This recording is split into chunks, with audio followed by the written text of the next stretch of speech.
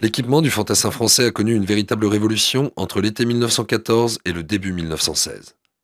L'uniforme, tout d'abord, a connu l'évolution la plus visible. Un effort particulier a été effectué pour le rendre moins voyant. Les couleurs vives, rouge garance et bleu profond, ont cédé la place à un gris-bleu dit horizon, conçu pour se confondre avec la couleur du ciel. Les galons, en très voyante broderie dorée, ont été réduits. On remarque également le célèbre casque Adrien, qui a remplacé le képi de 1914.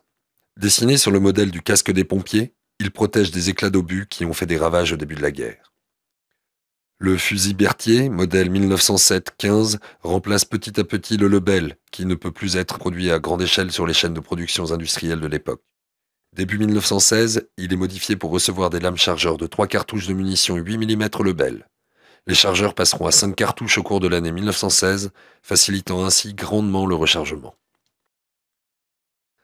Parmi l'imposant Barda figure maintenant le masque à gaz M2, accessoire désormais vital pour les soldats. C'est un modèle de masque à gaz qui couvre entièrement le visage, rapide à mettre et apprécié par les soldats car très efficace contre tous les types de gaz utilisés alors. Son filtre permet environ 5 heures de protection. Le fantassin allemand, quant à lui, est encore mieux équipé, malgré certaines pénuries dues au blocus imposé par l'entente. Cet équipement a bien entendu également largement évolué depuis le début de la guerre. Symbole visible de cette évolution, le casque Stahlheim qui est distribué aux soldats pour le début de la bataille de Verdun. Ce casque est conçu sur le modèle de ceux de la Renaissance et restera associé au fantassin allemand jusqu'à la fin de la Deuxième Guerre mondiale. Avec son acier de 1,2 mm, il est plus résistant que le casque Adrien français.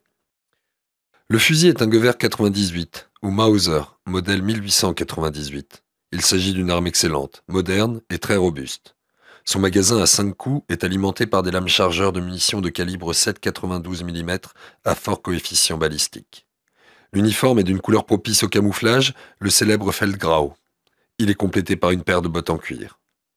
D'autres éléments d'équipement sont censés s'améliorer ou mis en service. C'est le cas des grenades à manche Schildhandgranate ou des lance-flammes qui font leur apparition sur le champ de bataille. Depuis le début de la guerre, c'est le général Joffre qui est commandant en chef des armées. Auréolé de gloire après la victoire française sur la Marne, il conduit des opérations à sa guise depuis lors, malgré les échecs des offensives de 1915. Son crédit s'égratigne cependant peu à peu, et après l'offensive allemande sur Verdun, le gouvernement lui donne de moins en moins carte blanche.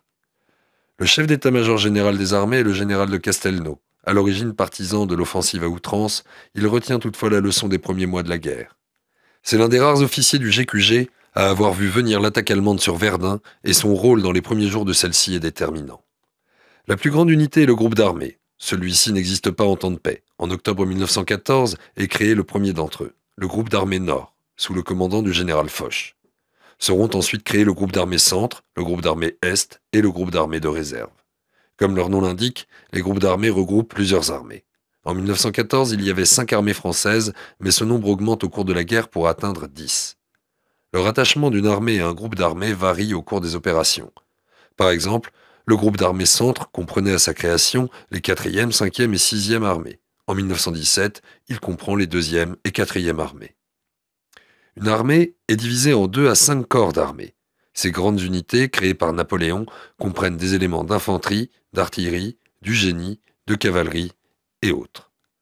Le corps d'armée comprend généralement deux divisions d'infanterie, en 1907, l'armée française comprend une centaine de divisions d'infanterie. La division est la plus petite unité interarmes et est composée de deux brigades d'infanterie, un régiment d'artillerie, un escadron de cavalerie, d'une compagnie du génie et d'un détachement sanitaire. La brigade contient deux divisions d'infanterie qui restent généralement associées tout au long de la guerre. Le régiment est l'unité de base pour le soldat. C'est à lui qu'il s'identifie en premier puisqu'il est associé au casernement plutôt qu'aux opérations, qui sont plutôt conduites par la brigade, voire les bataillons. Un régiment comprend trois bataillons, eux-mêmes divisés en trois compagnies, dont une de réserve et d'une compagnie de mitrailleuses. Chaque compagnie est divisée en quatre sections, plus petites unités commandées par un officier. La composition des sections a beaucoup évolué entre 1914 et 1916 pour s'adapter d'une part aux divers changements technologiques et d'autre part aux réorganisations rendues nécessaires par les pertes et recrutements.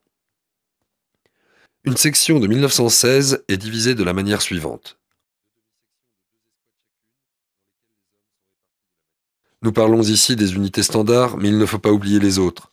Les régiments d'infanterie territoriale sont constitués à partir d'hommes âgés de 34 à 49 ans à la mobilisation. Affectueusement surnommés les pépères, ceux-ci ne doivent normalement pas se situer en première ligne, mais servir à de nombreuses missions cruciales. Occupation des forts et des dépôts, transport des prisonniers, réalisation de travaux, récupération du matériel, etc. Au gré des offensives, il leur arrive malgré tout, parfois, de se retrouver au front. Les bataillons de chasseurs à pied sont des régiments d'élite dont les hommes sont souvent très vifs et d'excellents tireurs. Ils agissent généralement en avant des régiments d'infanterie.